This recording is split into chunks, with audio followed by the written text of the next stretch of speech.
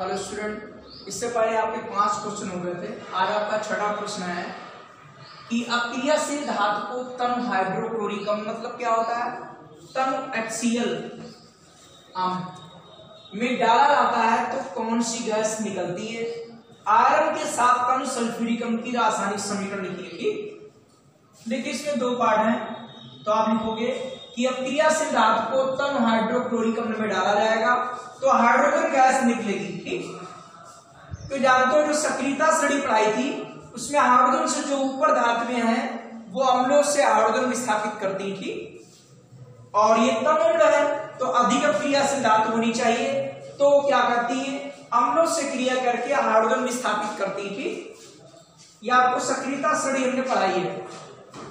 सक्रियता श्रेणी क्या होता है? क्रियाशीलता वाली, वही विद्युत रासायनिक श्रेणी को सक्रियता श्रेणी कहते हैं। यह हमने पढ़ा है लिख, बा, सर काना मकड़ा एल्युमिनियम का, इसी में लिखेंगे, ठीक?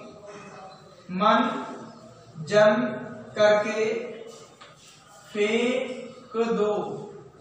कोई, नहीं, श्रीनाथ, प्रभाकर है। तीन धातु में आपकी जो है हाइड्रोजन से अधिक क्रियाशील है। और ये अम्लों से क्रिया करके हाइड्रोजन स्थापित करती है ठीक तो यहाँ पर लिख लेंगे कि अक्रियाशील धातु में अबक्रियाशील धातु को तनु हाइड्रोक्लोरिक अम्ल तनु एक्सीएल में डाला जाता है, में डाला जाता है तो हाइड्रोजन गैस निकलती है। हाइड्रोजन गैस निकलती है।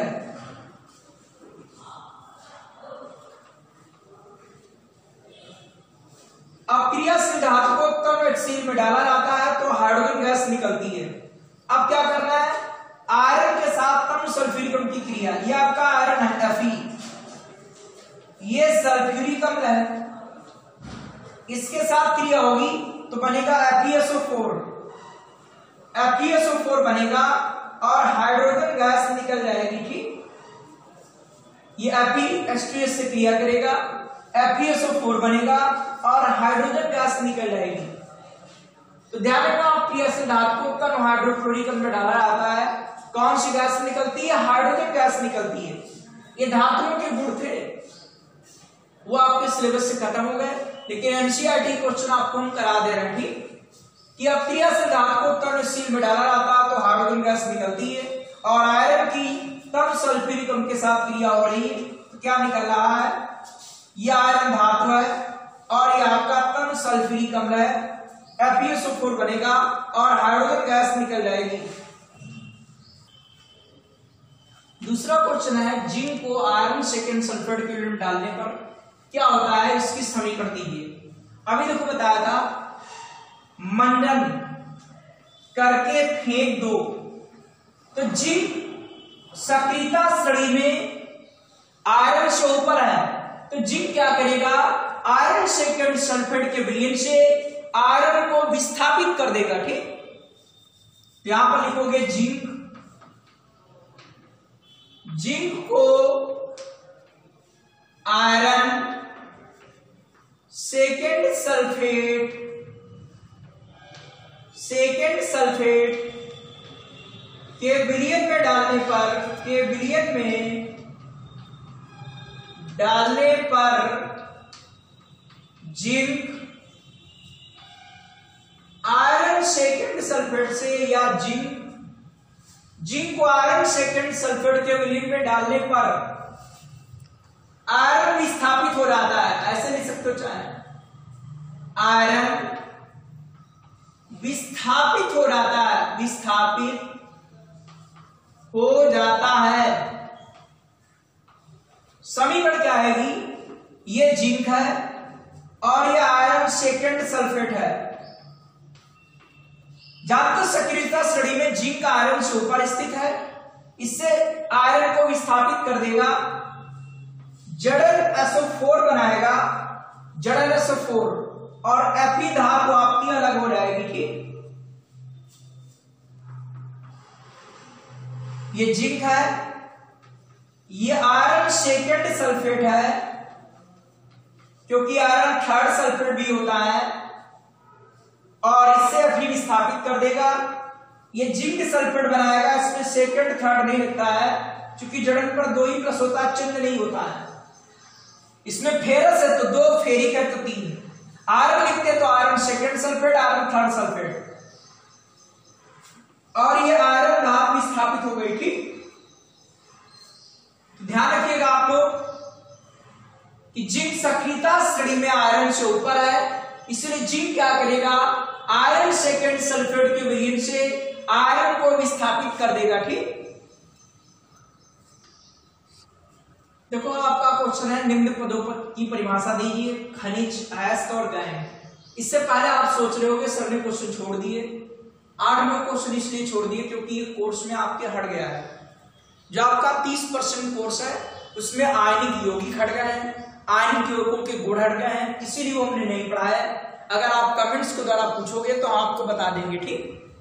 लेकिन वो आपके तीस परसेंट जो कोर्स हटा है, उसमें उतना भाग वो हट गया ठीक?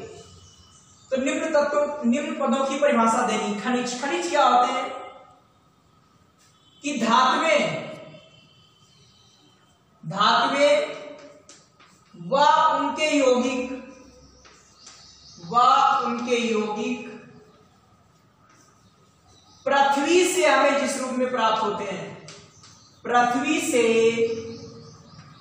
हमें जिस रूप में प्राप्त होते हैं।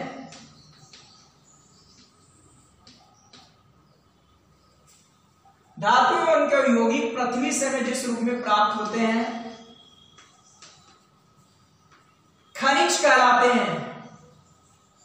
खनिज कहलाते हैं। जैसे जो हमने मेटलर्जी पढ़ाई थी तो आपको बताया गया था, लेकिन ये क्वेश्चन करवा भी रहे हैं ठीक जैसे copper pyrite copper pyrite C U F E S two इसका सूत्र है।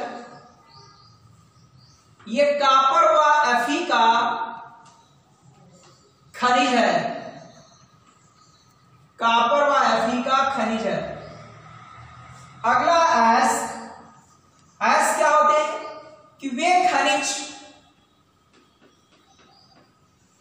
सभी एस खनिज होते हैं, लेकिन सभी खनिज एस नहीं होते कि वे खनिज जिनसे धातुएँ सरलतापूर्वक सरलतापूर्वक व कम खर्चे से प्राप्त होती हैं। कम खर्चे से प्राप्त होती है। अयस्क कहलाते अयस्क कहलाते हैं।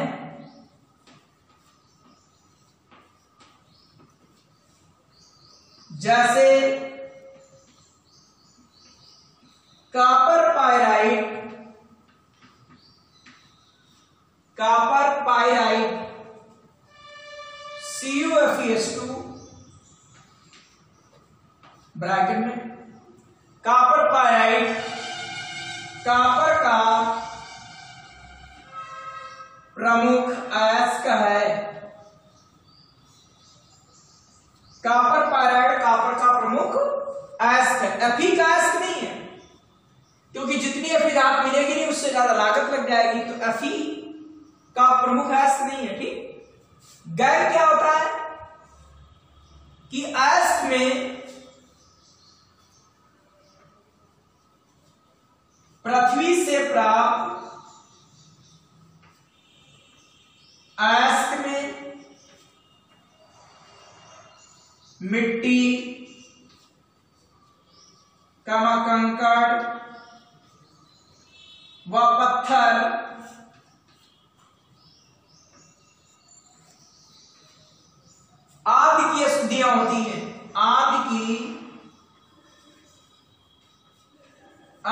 अशुद्धियाँ होती हैं, जिन्हें गैन कहते हैं गैन जिन्हें गैन कहते हैं कि पृथ्वी से प्राप्त में मिट्टी का कंकड़ व पत्थर आदि की शुद्धियाँ होती हैं, जिन्हें हम गैन कहते हैं गैन